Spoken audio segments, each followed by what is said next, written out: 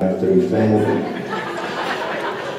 Minuto Mussolini. Well, hell, thank you for getting off course, sorry. How about your question?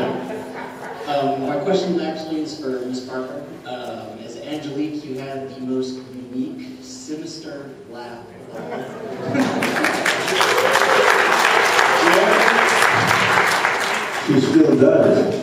Well, I don't know if you would honor us with uh, maybe giving us a little bit of a laugh, but where did you get that uh, inspiration to come up with such a devious laugh?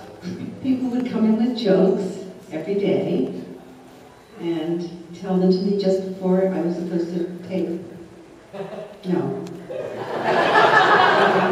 It was the most horrible, forced experience, and the director continued to say, longer, louder, with more energy,